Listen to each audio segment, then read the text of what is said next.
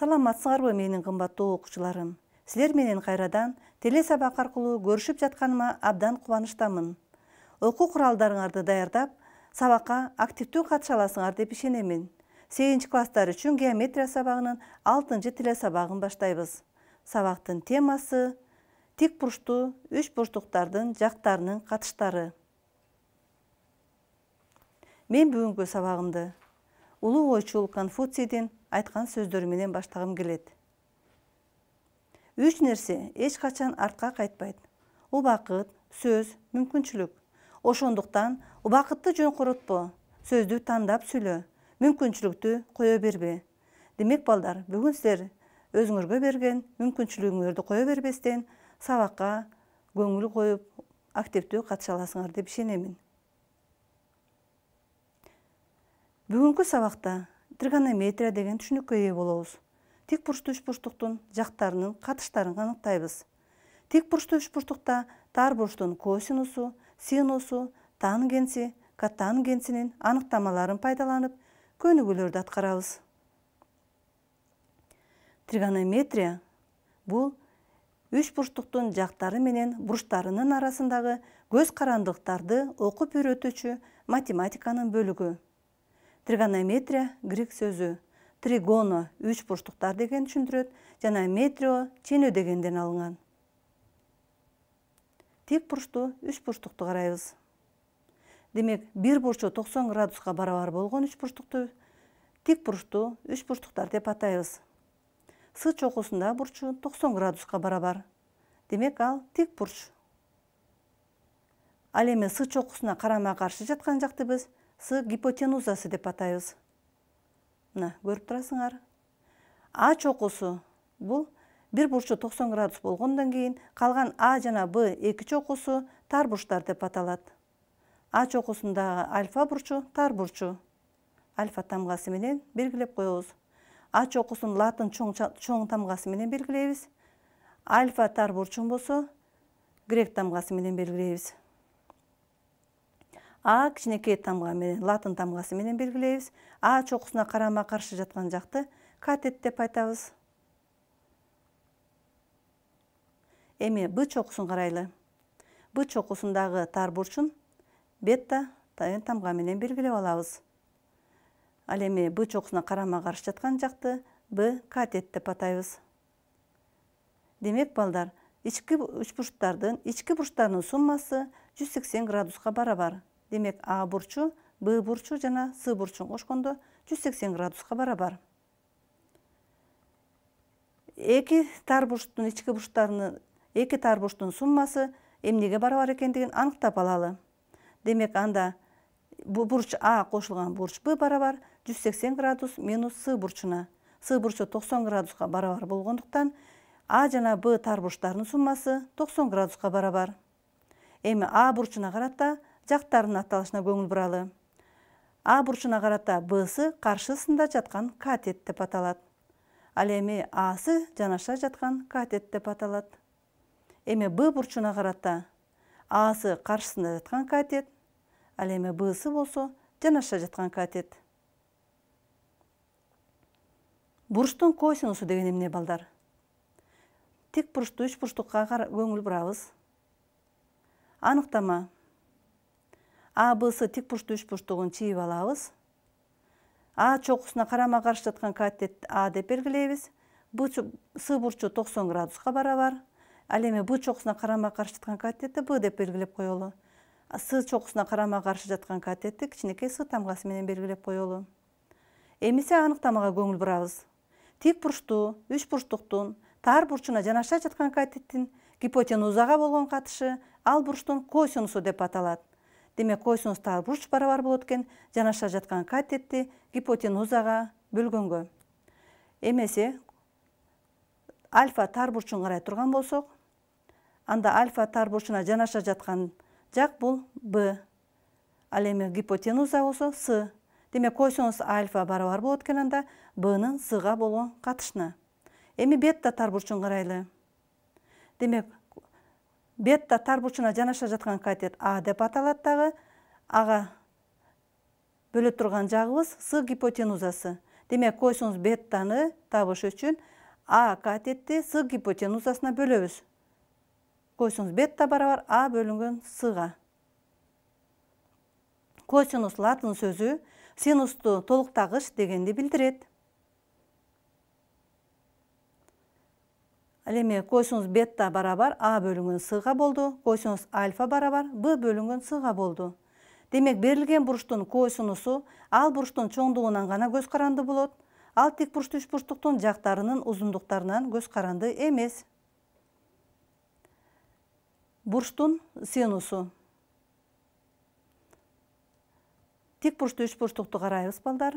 А б с. Тик бурчтуу үч бурчтугун жана а чокусуна карама каршы жаткан катет а б чокусуна карама каршы жаткан катет б с чокусуна карама каршы жаткан катет с. С бурчу токсон градуска барабар. Аныктамага көңүл бурабыз. Тик бурчтуу үч бурчтуктун тар бурчунун каршысында жаткан катеттин гипотенузага болгон катышы ал бурчтун синусу деп аталат. Демек синус тар бурчу барабар каршыдагы катеттин гипотенузага болгон катышына альфа тар бурчун карайбыз демек альфа тар бурчуна карама каршы жаткан катет бул а катети ал эми гипотенуза болсо бул с. Демек синус альфа барабар а бөлүнгөн сга эми бетта тар бурчун карайлы бетта тар бурчуна карама каршы жаткан катет бул б. Демек б катетин жана гипотенузага бөлөбүз демек синус бетта барабар б бөлүнгөн сга эсиңерге сактап калгыла балдар демек синус латын сөзү ирилик ийүү деген маанини аныктайт бурчтун тангенси тик бурчтуу үч бурчтукка карайбыз дагы аныктама тик бурчтуу үч тар бурчунун тангенси деп тар бурчтун каршысында жаткан катеттин жанаша жаткан катетке болгон катышын аныктайбыз мына а б с тик бурчтуу үч бурчтугун карайлы. А чокусуна карама каршы катет а тамгасы менен б чокусуна карама каршы катет б тамгасы менен с чокусуна карама каршы жаткан катет с тамгасы менен белгилейбиз. С бурчу токсон градуска барабар. Демек тангенс тар бурч бул каршысындагы катеттин жанаша жаткан катетке болгон катышына барабар. Демек альфа тар бурчун карай турган болсок альфа тар бурчуна карама каршы жаткан катет бул а катети. Ал эми жанаша жаткан катет б. Демек тангенс альфа барабар а бөлүнгөн бга эми бетта тар бурчун карайлы демек бетта тар бурчуна карама каршы жаткан катет бул б ал эми жанаша жаткан катет а. Тангенс беттаны табыш үчүн биз бны ага бөлөбүз. Тангенс латын сөзү жанышуучу дегенди аныктайт. Бурчтун катангенси тик бурчтуу үч бурчтукту карайлы балдар. А б с тик бурчтуу үч бурчтугун с бурчу токсон градуска барабар а чокусуна карама каршы катет а б чокусуна карама каршы катетти б с чокусуна карама каршы катетти с. Демек аныктаманы окуйбуз.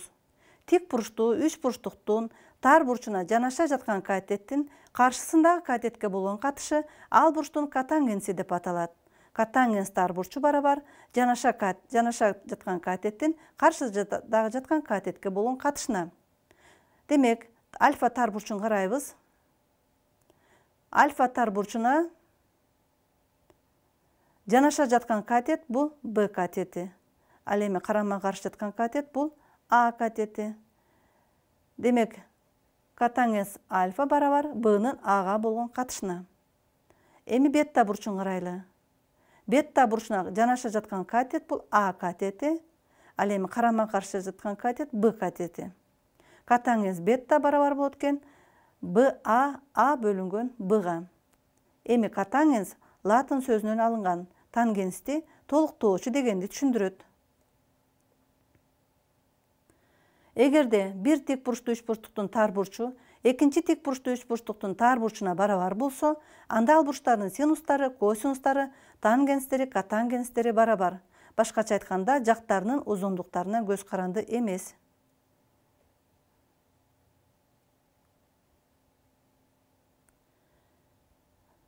Мындай маселени карайлы дагы. Берилген тик бурчтуу үч бурчтук үчүн синус альфаны косинус альфаны тангенс альфаны жана катангенс альфаны жазабыз. Тик бурчтуу үч бурчтук берилди бизге. Абс тик бурчтуу үч бурчтугу а чокусуна карама каршы катет а б чокусуна карама каршы катет б с чокусуна карама каршы жагы гипотенуза с деп белгилеп алабыз. Демек альфа тар бурчуну ала турган болсок анда төмөнгүдөй катыштарга көңүл буралы. Косинус альфа барабар эмнеге синус альфа кайсыл катышка барабар тангенс альфа кайсыл катышка барабар жана тангенс альфанын катышын жазалы.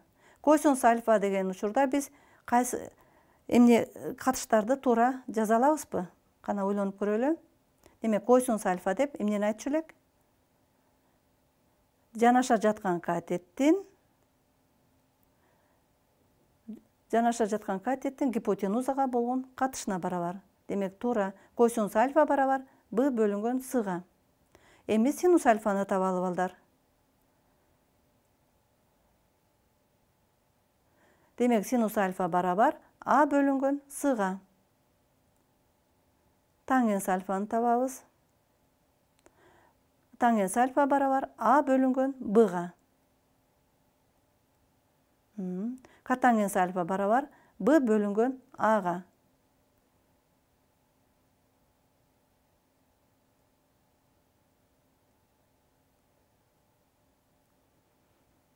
А б с дагы бир маселени карайлы а б с тик бурчтуу үч бурчтугунда с барабар сегиз сантиметрге. А с барабар он беш сантиметрге. Б барабар он жети сантиметр болсо синус альфа синус бетта косинус альфа косинус бетта тангенс альфа тангенс беттанын маанилерин тапкыла чыгарабыз балдар. Тик бурчтуу үч бурчтукту белгилеп алабыз. С тик бурчтуу үч бурчтугун көрүп турасыңар демек б жағы 8 сантиметрге барабар а жағы 15 сантиметрге ал эми аб жагы 17 сантиметрге барабар. А чокусундагы бурчу альфа деп белгилеп алдык. Б чокусундагы бурчун бетта деп белгилеп алабыз. Демек синус альфаны жазалы балдар синус альфа барабар бұсының абга болгон катышына демек альфа бурчуна карама каршы жаткан катет бул с, гипотенуза аб. Бсынын ордунда 8 сантиметрді қойауыз, ал эми а бнын 17 сантиметрді қойауыз. демек синус альфа барабар 8ден 17ге болған қатышына. косинус альфа барабар асынын абга болған қатышына. демек косинус альфа бұл жанаша жатқан катет асы 15 сантиметрге барабар жана гипотенуза аб жанаша жатқан катетті гипотенузаға бөлгенде косинус альфа келіп шығады. демек 15-ден 17ге болған қатышына бара барабар ал эми тангенс альфа бул. Карама каршы жаткан катетти жанаша жаткан катетке бөлгөнгө барабар. Демек б сынын а сга болгон катышына. Б сыбыз сегиз сантиметр а сыбыз он беш сантиметр. Демек тангенс альфа барабар сегиздин он бешке болгон катышына. Эми балдар б бурчуна карата синус беттаны жазалы. Синус бетта демек карама каршы катеттин гипотенузага болгон катышына барабар карама каршы катет асы гипотенуза аб. Он беш сантиметрди он жети сантиметрге бөлөбүз демек синус бетта барабар он бештин он жетиге болгон катышына косинус беттаны жазалы балдар бсынын абга болгон катышына демек косинус бетта болсо жанаша жаткан катеттин гипотенузага болгон катышына барабар демек жанаша жаткан катет бул бс сегиз сантиметрге барабар ал эми аб гипотенуза он жети сантиметрге барабар косинус бетта демек сегизден он жетиге болгон катышына тангенс беттаны карайбыз азыр. Тангенс бетта бул карама каршы жаткан катеттин жанаша жаткан катетке болгон катышына барабар карама каршы жаткан катет бул ас ал он беш сантиметрге барабар ал эми бс болсо сегиз сантиметрге. Демек тангенс бетта барабар он бештен сегизге болгон катышына жообун жазабыз балдар синус альфа барабар он жетиден сегизге косинус альфа барабар он жетиден он бешке. Тангенс альфа барабар он бештен сегизге синус бетта барабар он жетиден он бешке косинус бетта барабар он жетиден сегизге жана тангенс бетта барабар сегизден он бешке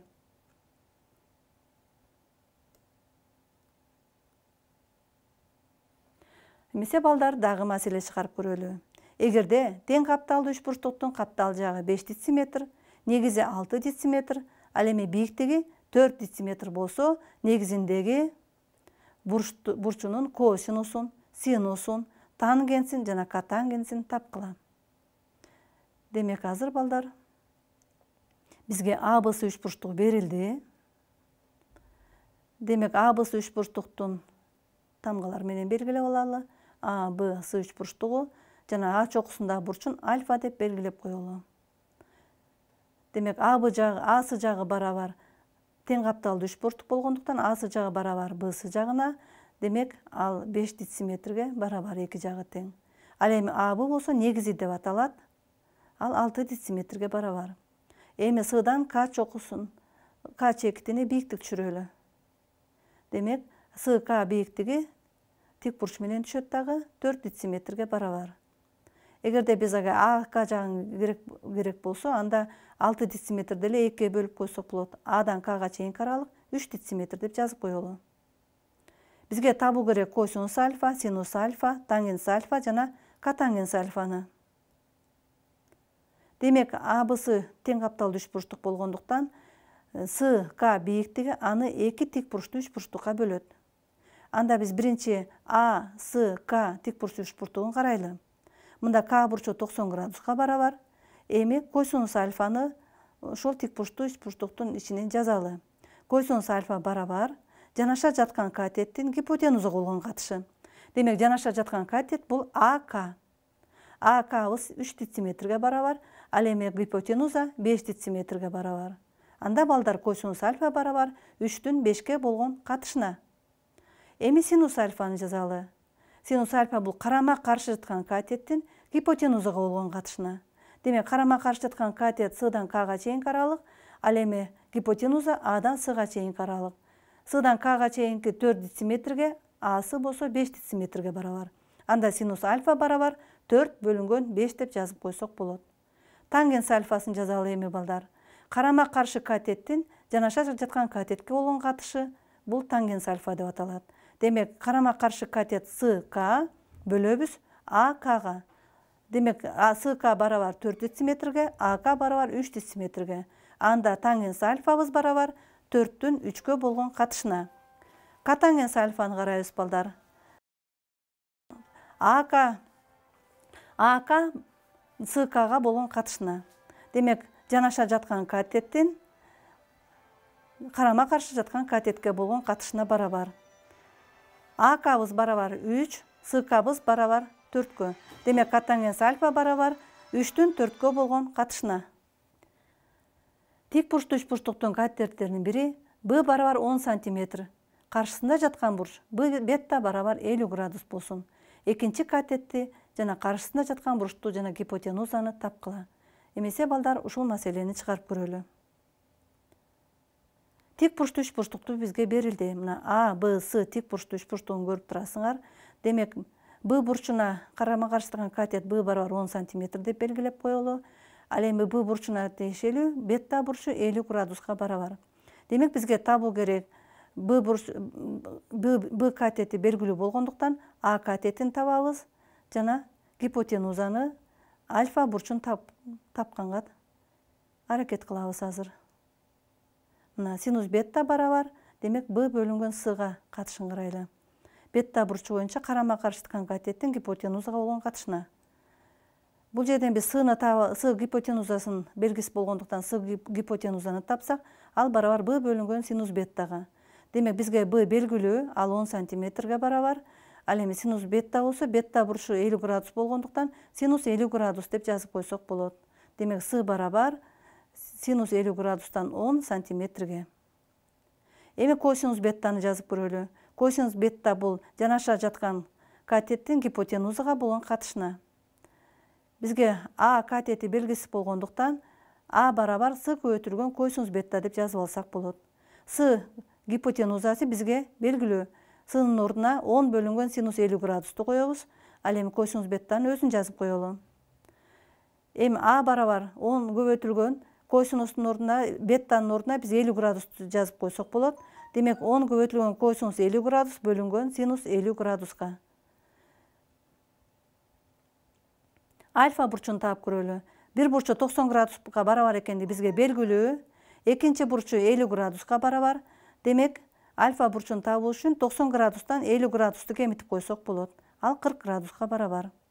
Демек жообун жазабыз. Синус элүү градус с барабар гипотенуза синус элүү градустан онго барабар а катети синус элүү градустан он көбөйтүлгөн косинус элүү градуска барабар ал эми альфа бурчу кырк градуска барабар эмесе балдар бүгүнкү сабакта биз өткөн аныктамаларды кайрадан кайталап коелу тик бурчтуу үч бурчтуктун альфа тар бурчунун каршысында жаткан катеттин гипотенузага болгон катышы ал бурчтун синусу деп аталат. Синус альфа барабар анын сга болгон катышына же болбосо бсынын абга болгон катышына синус бетта барабар бнын сга болгон катышына асынын абга болгон катышына эми тик бурчтуу үч бурчтуктун альфа тар бурчуна жанаша жаткан катеттин гипотенузага болгон катышы ал бурчтун койсунусу деп аталат. Демек койсунус альфа барабар бнын сга болгон катышына асынын абга болгон катышына ал эми койсунус бетта барабар анын сга болгон катышына ал барабар бсынын абга болгон катышына тик бурчтуу үч бурчтуктун альфа тар бурчунун каршысында жаткан катеттин жанаша жаткан катетке болгон катышы ал бурчтун тангенси деп аталат. Ал тангенс альфа барабар анын бга болгон катышына же болбосо бсынын сага болгон катышына. Тангенс бетта барабар бнын ага болгон катышына ал барабар асынын сбга болгон катышына. Эми ошондой эле тик бурчтуу үч бурчтуктун альфа тар бурчунун жанаша жаткан катетинин каршысында жаткан катетке болгон катышы ал бурчтун катангенси деп аталат. Катангенс альфа барабар бнын ага болгон катышына асынын бсга болгон катышына. Катангенс бетта барабар а бөлүнгөн бга же болбосо бсынын асга болгон катышына. Демек балдар тар бурчтун синусун койсунусун жана тангенсин тик бурчтуу үч бурчтуктун белгисиз элементтерин жактарын бурчтарын табуу үчүн колдонобуз. Үйдөн өз билимиңерди текшерип көргүлө тар бурчтун койсунусу төрттөн үчкө барабар болгон учуруна жана сегизден бешке барабар болгон учуруна тик бурчтуу үч бурчтуктарды өз алдыңарча түзүп көргүлө анда эмесе балдар саламатта калгыла